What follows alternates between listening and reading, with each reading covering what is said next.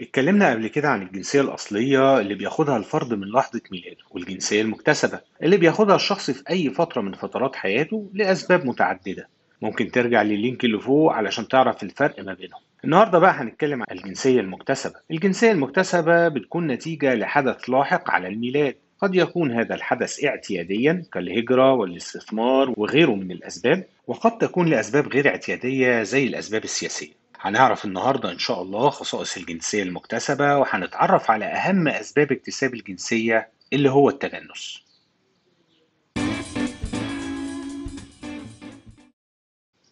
لم تكن الجنسية المكتسبة منتشرة فيما مضى لأن زمان كان بيسود مبدأ اسمه الولاء الدائم والجنسية الخاصة بدولة الشخص كانت بتبقى ملتصقة بيه من الميلاد إلى الممات. لكن بعد انتشار مبدأ حرية الجنسية ابتدت الدول تسمح لمواطنيها بتغيير جنسياتهم بناء على رغباتهم وبناء على اعتبارات عملية أخرى. الجنسية المكتسبة ليها خصائص معينة بتميزها عن الجنسية الأصلية. أولها زي ما قلنا إن الجنسية المكتسبة لا تثبت للشخص عند مولده لكن بيتمتع بيها في وقت لاحق خلال فترة معينة من حياته. اثنين الجنسية المكتسبة لا يتم اكتسابها بقوة القانون. لكن لازم الشخص الراغب في الجنسية يفصح عن رغبته تلك. وكمان الدولة المانحة للجنسية توافق إنها تديها له. وحتى لو الفرد كان مستوفي الشروط القانونية المطلوبة في القانون علشان يكتسب الجنسية والدولة المانحة للجنسية مش عايزة فبيكون من حقها إنها تمنع الجنسية عن هذا الشخص. ثالثا عادة ما يعتمد اكتساب الجنسية على مدة الإقامة في الدولة المانحة. لأن ذلك بيعتبر قرينة على توثيق روابط الشخص بالجماعة وبالدولة التي يريد الانتماء إليها. كمان بتثبت الجنسية المكتسبة للشخص من تاريخ صدور القرار بمنحها وليس من تاريخ الولادة كما هو الحال في الجنسية الأصلية. من النادر أن تكون الجنسية المكتسبة هي الجنسية الأولى فعادة ما يكون هناك جنسية أصلية يتمتع بها الشخص ثم يسعى هو من بعد ذلك للحصول على الجنسية المكتسبة تعالوا بقى نعرف شوية عن التجنس تجنس أساتذة هو طريق لكسب الجنسية بمنحها من الدولة. وده بيكون حسب تقديرها المطلق للأجنبي الذي يطلبها وذلك أيضا بعد استيفاء الشروط التي يتطلبها القانون. ومن التعريف بنتأكد أن التجنس هو عمل إرادي يتم بتوافق إرادتين الشخص الراغب في التجنس والدولة الواهبة للجنسية. ولازم نعرف أن التجنس ليس حقا للفرد إعمالا للقواعد العامة الخاصة بالجنسية المكتسبة. أنت تقدم على الجنسية زي ما أنت عايز والدولة توافق أو ترفض وفي نفس الوقت الدولة لا تستطيع إجبارك على التجنس بجنسيتها. لازم حصولك على الجنسية يكون بمزاجك. وعامة علشان تبقى عارف الدولة اللي عدد سكانها قليل وعندها خوف من الاندثار بتتوسع في منح جنسيتها للأجانب والعكس صحيح. الدولة التي يكثر عدد سكانها تقلل من إعطاء جنسيتها للآخرين. في بقى ناس بتفرق ما بين التجنس والجنسية القانونية اللاحقة.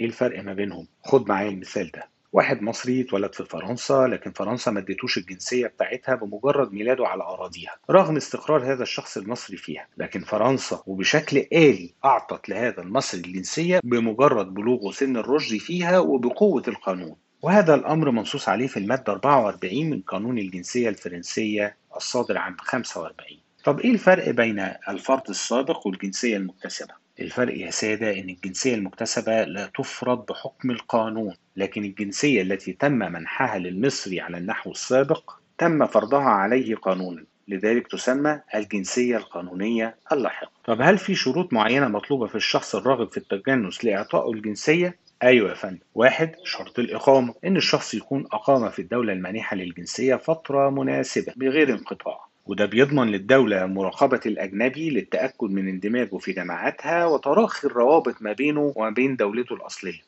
وطبعا تلك المدة بتتفاوت ما بين دولة وأخرى لكن أقلها بيكون ثلاث سنين ويمكن التنازل عن تلك المدة في حالات استثنائية ما إن أدى الشخص الراغب في التجنس خدمات جليلة للدولة. 2. شرط الأهلية سبق وقلنا إن التجنس عمل إرادي وطالما ذكرت الإرادة فكلنا عارفين إنها يجب أن تكون صادرة من شخص عنده أهلية كاملة وهنا بتيجي المشكلة هل بقى الأهلية بتاعت هذا الشخص تتحسب على معيار الدولة اللي هو جاي منها ولا الدولة المانحة للجنسية ولا بحسب المعايير المعتمدة في الدولتين والراجح إن ده بيكون بحسب معايير الدولة المانحة للجنسية. في بقى شروط تكميلية قد تفرضها بعض الدول زي إن يكون قد أجاد لغتها وطريقة معيشتها وإن يكون حسن الخلق والسير. بقى لينا شرط أخير متعلق بأن يفقد المتجنس جنسيته الأصلية. وده لأن في بعض الدول أخذت على عاتقها معالجة ظاهرة تعدد الجنسيات. علشان كده لو أنت هتاخد جنسيتها يجب أن تتخلى عن جنسيتك الأصلية. وهنا بتطول المشكلة لأن ساعات كتيرة التخلي عن جنسية الدولة الأصلية لا يكون رهنا بإرادة فرد وحده لكن يجب على دولته أن توافقه في ذلك. علشان كده الدول اللي ما بتقبلش أن يكون لمواطنيها جنسية أخرى غير جنسيتها بتشترط على الراغب في التجنس أن يأخذ إذن مبدئي من دولته على اكتساب الجنسية اللي هو عاوزها. فيعتبر ذلك بمثابة الإمارة أن الدولة سوف توافق على إسقاط جنسيتها عنه في حال ما اكتسب الجنسية المكتسبة. إيه بقى هي آثار التجنس؟ ساعات بيترتب على التجنس حرمان الفرد من جنسيته الأصلية وتمتعه بجنسيته المكتسبة زي ما قلنا وساعات الدولة صاحبة جنسيته الأصلية بتخليه يحتفظ بجنسيتها بس بتشيل منه بعض الحقوق السياسية المتعلقة بحق الانتخاب وحق الترشح للوظائف النيابية والسياسية في دول تانية بتحتفظ لنفسها بجواز سحب الجنسية من المتجنس خلال فترة معينة بتتراوح عادة ما بين خمس أو عشر سنوات من تاريخ تجنسه. وخلي بالنا آثار التجنس لا تقتصر على المتجنس فقط بل تمتد لتشمل أولاده وزوجته. في دول مانحة للتجنس بتمنح الأولاد الجنسية مباشرة مع أبوه. وفي دول تانية بتستناهم يبلغوا سن الرشد وتديها لهم بقوة القانون زي ما شفنا في فرق. وليهم ساعتها خيار رد الجنسية جديدة لو هم عايزين. وفي دول تانية ما بتعملش أي حاجة للأولاد وبتنتظر لما الولاد يكبروا ويبلغوا سن الرشد ويقدموا على الجنسية بنفسهم. ونفس الحالة بالنسبة للزوج. في بعض الدول بتجنسها بجنسية زوجها على طول لأنها بتاخد بمبدأ وحدة الجنسية في العالم. ودول تانية بترفض ذلك ولا ترتب على التجنس أي أثر في جنسية الزوجة احتراما لإرادتها. وعلى كل حال بيجوز للزوجة رفض الجنسية إن اكتسبتها بقوة القانون. شكرا على المتابعة حتى النهاية وهكون شاكر ليك جدا لو اشتركت في القناة. 87% من المتابعين غير مشتركين في القناة واشتراكك بيمثل دعم كبير بيخليني أقدر أكمل. لو ليك أي ملحوظة في المحتوى أو طريقة العرض ما تترددش في إنك تقولي عليها وطبعا تحت أمرك في أي سؤال.